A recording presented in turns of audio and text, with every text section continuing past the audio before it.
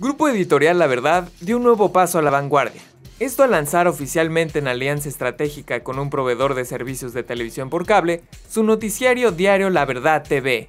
Este se transmite por el canal 153. Carlos Canaval Ruiz, presidente del grupo, destacó que la manera de informarse ha cambiado, ya que ahora los ciudadanos lo hacen desde su teléfono móvil e internet, por lo que Grupo Editorial La Verdad lanza su innovadora plataforma informativa en televisión y redes sociales en las que navegan más de 500.000 ciudadanos. La Verdad Televisión inicia su noticiero nocturno a las 9 de la noche en Quintana Roo con repetición de 10 a 11 de la noche. En representación del gobernador del estado Roberto Borja Angulo, el secretario de Desarrollo Económico en Quintana Roo, Javier Díaz Carvajal, felicitó al empresario de medios de comunicación Carlos Canaval Ruiz por el lanzamiento del canal.